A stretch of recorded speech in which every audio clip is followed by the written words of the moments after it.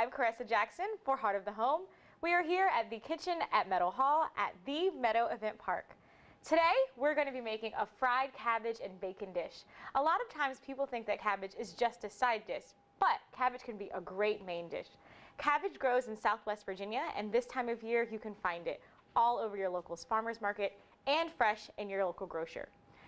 Virginia is also famous for yummy bacon. Bacon's one of my favorite. Anything you can add bacon to, hand it over to me. So the first thing we're going to do is put our bacon in a medium-high skillet to start cooking. We're going to cook the bacon and we're going to leave the bacon drippage inside because that's what we will actually be cooking our cabbage in. I'm using about three slices cut in half, so that will make about six pieces for your pan. And while we're waiting on the fat to produce from the cooking of bacon, we're going to go ahead and start cutting up some of our cabbage.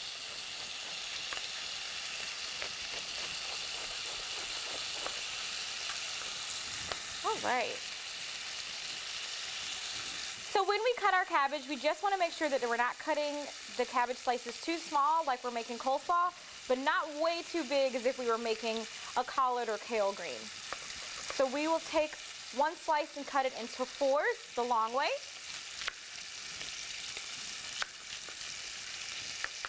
And then we'll turn it around and cut it into thirds.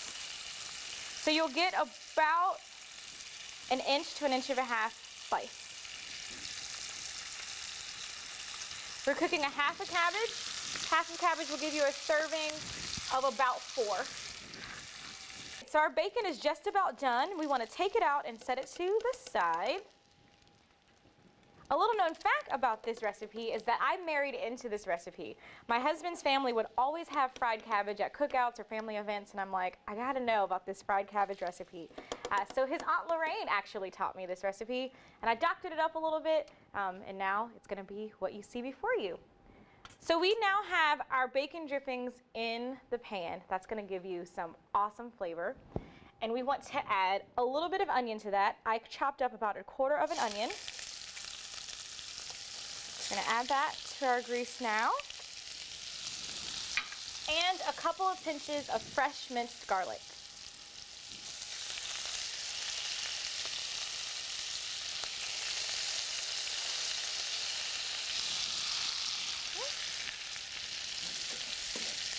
Mix that up and have it brown. And we will add about a quarter cup of minced carrots.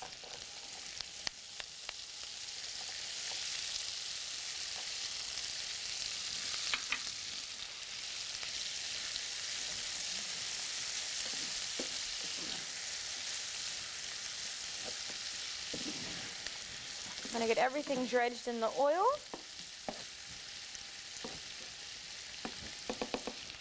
And then going to add heaps of your cabbage on top.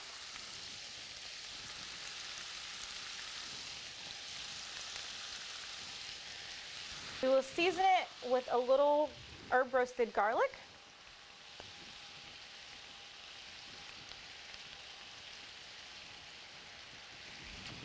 Fresh cracked salt and pepper.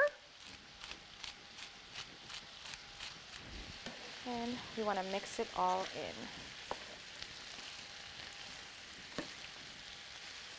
You want to make sure all of your cabbage has a little bit of the oil on it because that's what's going to help it cook down. If for some reason you feel like you don't have enough oil from your bacon to complete this recipe, add a couple of tablespoons of olive oil.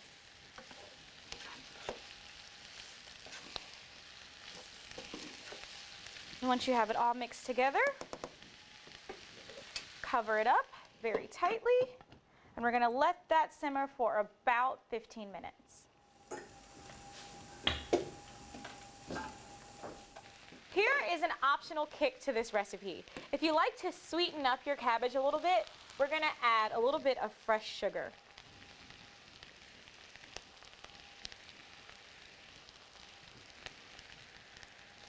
By this time, what you'll notice is that your carrots And your onions are probably a bit crispy, and that's how you know you're almost to the finish line.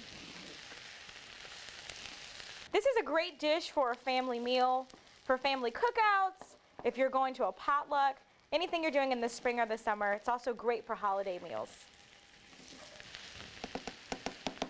So once we've done that, you can go ahead and turn off your stove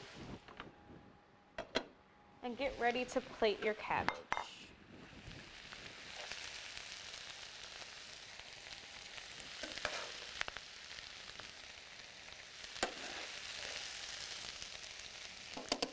And we want to make sure not to forget the crispy bacon pieces that we made earlier and serve those right on top.